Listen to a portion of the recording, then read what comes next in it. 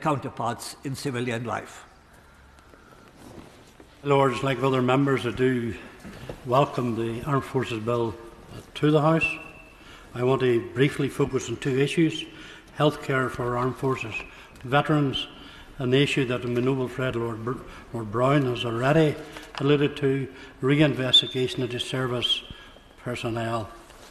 As already been said, our armed forces do a remarkable job to keep the people of this United Kingdom safe and secure in an ever changing and increasingly dangerous world.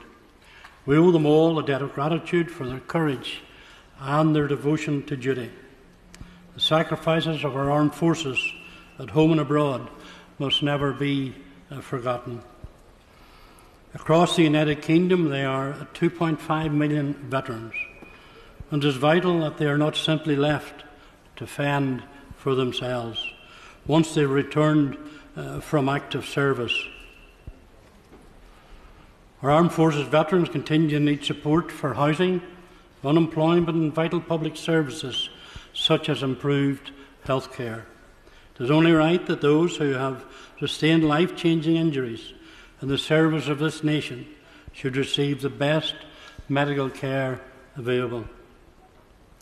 When our brave men and women return from a tour of duty, many need assistance when reintegrating back into society after the physical and mental challenges they have sustained while serving across the world.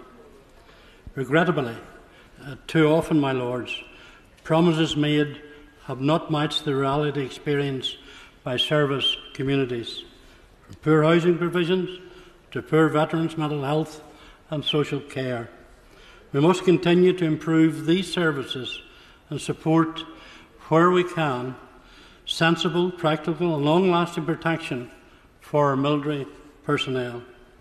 And I fully support any legislation that will improve the lives of our forces personnel. In return for their services, the armed forces should enjoy our strongest possible support.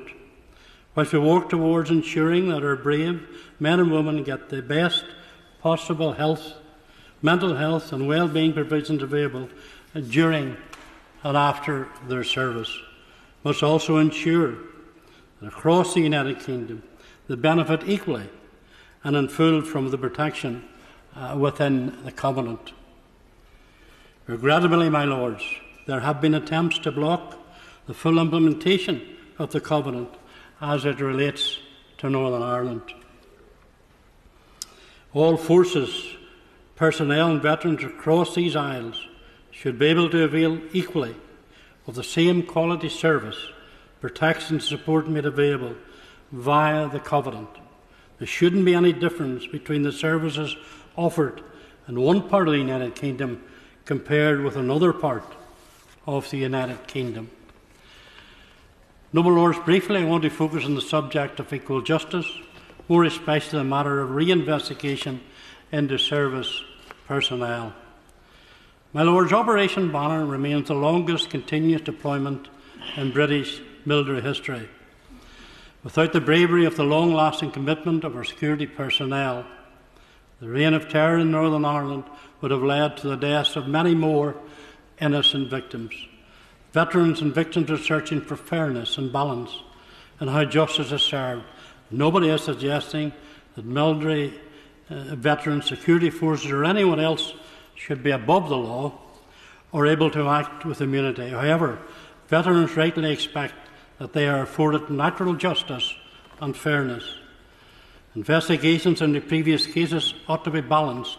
It is wrong that former members of security services have been subject to different sets of standards and rules, despite the fact that 90% of the deaths during the Troubles were caused by terrorists.